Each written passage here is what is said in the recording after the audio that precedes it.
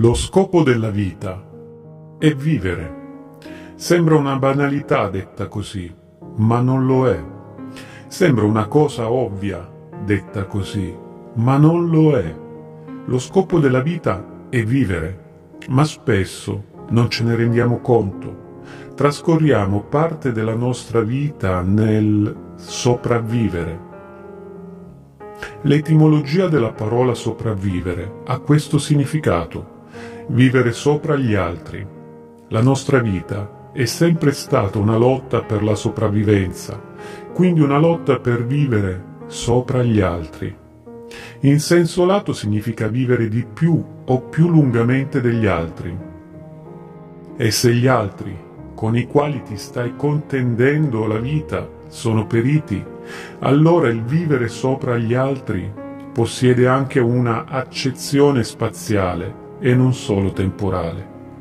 Chi sopravvive è sopra, chi non sopravvive va a finire sotto, muore.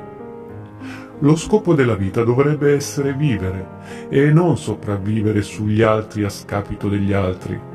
Su questo pianeta ci contendiamo tutto, il cibo, i beni primari, i beni secondari, il lavoro, lo spazio dove abitare, le amicizie e gli amori.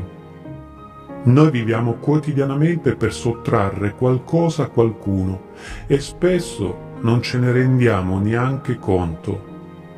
Lo scopo della vita dovrebbe essere vivere e non solo possedere. Invece la razza umana, pur di possedere e quindi di sopravvivere, baratta da sempre il suo unico vero scopo primario, sprecando così l'intera esistenza.